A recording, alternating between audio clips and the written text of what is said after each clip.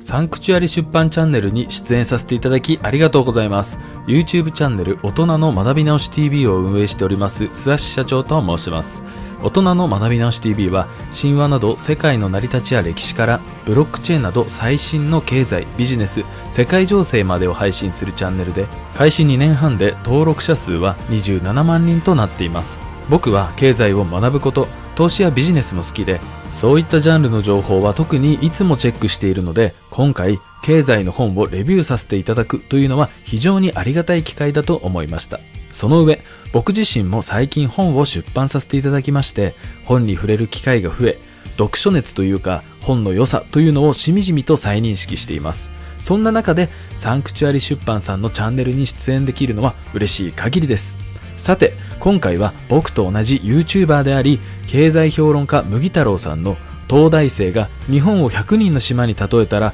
面白いほど経済が分かったという本をご紹介させていただきます。この本はそのタイトルの通り日本そして世界中のお金の動きを100人の島で起きた出来事としてまとめとにかく分かりやすさにフォーカスした内容になっています。登場するのもゾウさんとかキリンさんの可愛いキャラクターになっているので取っかかりやすいのも魅力です。経済の話というのはとにかく数字の規模が大きすぎて身近に感じられないということから難しく感じてしまいます。日本経済の問題は自分の生活に直接関係あるはずなのに出てくる数字の規模の大きさからどこか遠い世界の話をしているように感じてしまうものです。ですがそのスケールを思い切って100人にまで絞ることでどの問題も身近なものになりますしそもそも問題の根源がどこにあるのかという部分までクリアになりますから不思議です。それがこの本の素晴らしいポイントだと思います。特にチャプター1の経済以前の話の部分が僕のお気に入りです。この章を理解しているからこそその後に続く国家とお金景気と物価という経済の本質的なお話や信用創造や現代貨幣理論 MMT といった最近話題になる経済論までを理解することができるようになっていきます。せっかくなのでその内容をかいつまんで解説させていただきます。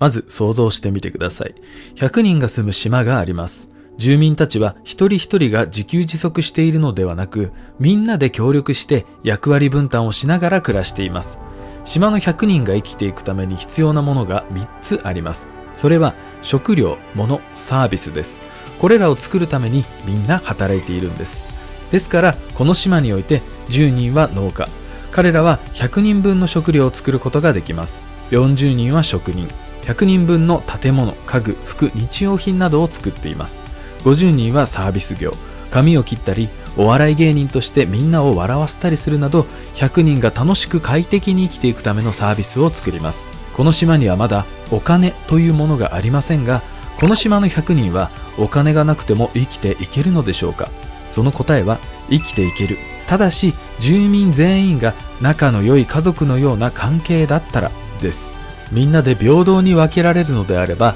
食料も家も日用品もサービスも全て人数分足りているので誰かが飢え死にしてしまうこともないでしょう。実際お金が存在しなかった時代には原始人たちは小さなグループで話し合ってみんなで仲良く分け合いながら暮らしていたのです。しかし人間が100人もいると仲の良い家族のように円満にはいきません。もっと食べ物が欲しい。あいつの家の方がいい。同じ服しか着れないのは嫌だ。など文句を言う住人が現れ始めるのです。このように人数が多くなってくるとみんなで食料や家や日用品やサービスを仲良く分け合うということがだんだんと難しくなってくるのです。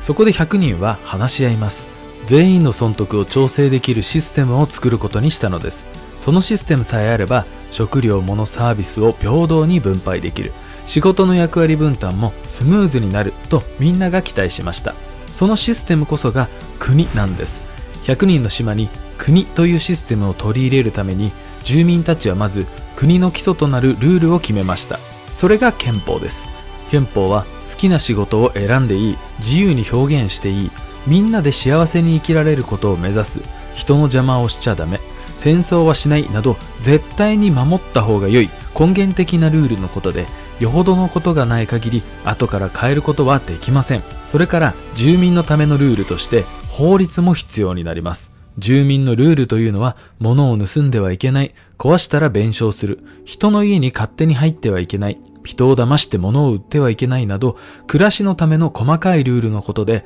後から変えようと思えば、国のルールである憲法よりも柔軟に変えることができます。そしてさらに、住民たちはお金というアイテムを取り入れました。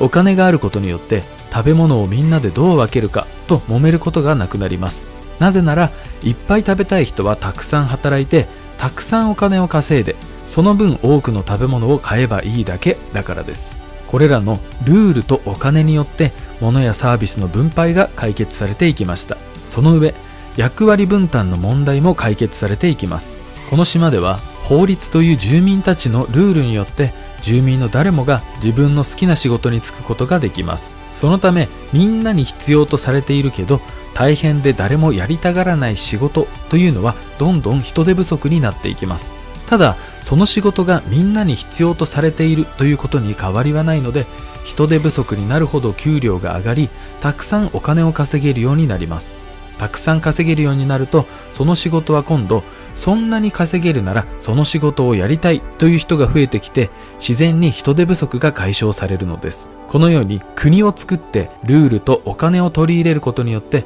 物とサービスの分配と役割分担までもがスムーズにできるようになりました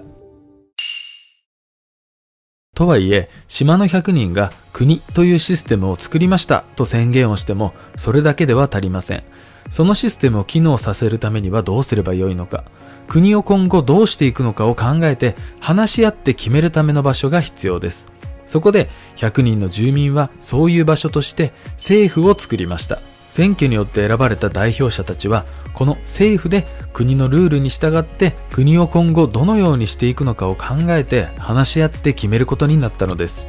でもこれでもまだ足りません住民のルールはこうします来月からこういうことをしますとただ口で言うだけでは何も変わらないからです。ルールを破った住民を捕まえる。政府が決めたことをちゃんと実行する人が必要です。そこで国のシステムのために働く仕事である公務は公務員が担当することになりました。公務員はルールを破った住民を逮捕したり実際にお金を印刷したり国が決めた仕事をしたり国というシステムを機能させるために働きます。こうして公務員になった人は紙に円と書いてハンコを押して日本のオリジナル通貨円を印刷して住民たちに配っていきます。これで円が島の住民に回ります。通貨として円が出回ることによってそれぞれ食料やサービスを買うことができるようになります。ただ通貨の円は物とサービスの分配と役割分担について何でも解決してくれるわけではありません。例えば島のゴミ拾い火事を消す。いつか役立つかもしれない新しい技術の研究など島のみんなにとって大切だけどなかなかお金になりにくい仕事というのは放っておかれてしまいます。また水道ガス電気などお金にはなるけど悪い人が担当すると島のみんなが困ってしまうため国で管理した方が良い仕事も公務員がやります。このように政府や公務員お金というシステムが機能するようになりいちいち誰がやるのかどう分配するのかこれらを話し合わなくて済むようになりました。これで全て解決されたようにも見えますがそれでもまだ大きな問題が残されています。実はこのままだと円は誰にもお金として使われないのです。いきなり円と書いてある紙切れを渡されて、その紙切れには価値がありますと言われても、え、紙切れに価値なんてないよと思われてしまいます。では一体どうすれば住民のみんなが円に価値があると感じてお金として使ってくれるようになるのでしょうかそもそもお金は物やサービスの価値を表現できる、価値を保存できる、持ち運ぶことができて交換に使えるという3つの条件を満たす必要があります。肉や魚は腐ってしまうのでお金にはなり得ませんし、巨大なロボットは交換できるほど小さく分けられないのでお金になりません。では、どんなものがお金にできるのでしょうか？例えば金です。希少性のある金属は誰が見てもキラキラとしていて美しく、アクセサリーや工業製品の材料としても使えるので、住民たちに欲しいと思わせる力があります。金に限らず他の金属である銀でも塩でも布でもみんながそれ自体に価値を感じられて分けて持ち運ぶのが簡単でそれでいて保存しやすいものであればお金として使うことができるのです。塩は生きていくために必要で持ち運び可能で保存ができるためローマ帝国では給料として塩が与えられていたとも言われています。このように商品として価値のあるものが転用されてお金になったものを商品貨幣と呼びます。しかし塩や金などは価値があったとしても色々と不便で使いにくいことがあります。いちいち大量の塩を持ち運んだり金の重さや量を測ったりすることは大変ですよね。そこで100人の島の政府は円という紙のお金を作りました。紙なら保存が効くし持ち歩きも簡単です。政府は紙に円と書いて本物だという証拠のハンコを押すだけです。その円を住民たちに配ったわけです。しかし住民の一人が言い出します。こんな紙切れ何の価値もないんじゃないの。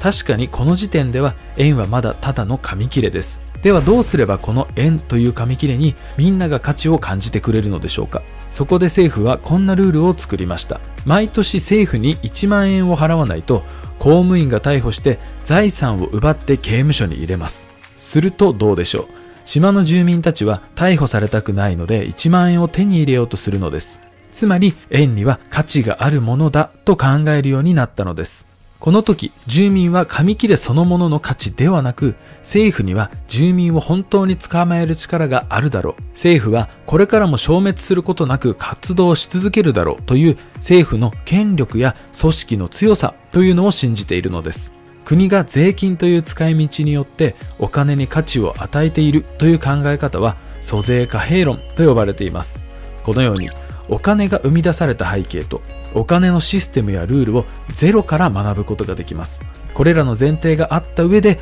ここからより本質的な経済に入っていくのが本書です。どうでしょう？続きが気になってきませんか？僕がご紹介したのはまだまだ序章のその一部だけですからここから国家とお金景気と物価という経済の本質的なお話や信用創造現代貨幣理論といった最近話題になる経済論までがとにかくわかりやすく解説されています。そして何より本書の中で重要なメッセージはお金よりも大切なものがあるという点に尽きると思います。お金というのはただの紙切れで現代のシステムを円滑化するための道具に過ぎず数千年前まで人はお金がない状態で暮らしていました。今もこの世界には少数民族などお金がない社会で生きている人たちもいます。お金は人間という動物の群れを効率よく強くするための道具に過ぎません。そんなことを主張する麦太郎さんのお金はただの数字でありそれで苦しむ必要はないというメッセージは非常に心に残りました。主婦の方までを含めて多くの人に読まれて経済とはどういうものかそれを理解するその一歩にしていただければ良いのではないでしょうか。難解な問題を分かりやすく表現された麦太郎さんの努力に深い敬意を表します。素敵な一冊をありがとうございました。最後に告知ですが、大人の学び直し TV でも経済や世界情勢などの情報を配信しているので、よかったら僕のチャンネルにもお越しください。というわけで今回の動画は以上となります。最後までご視聴いただきましてありがとうございました。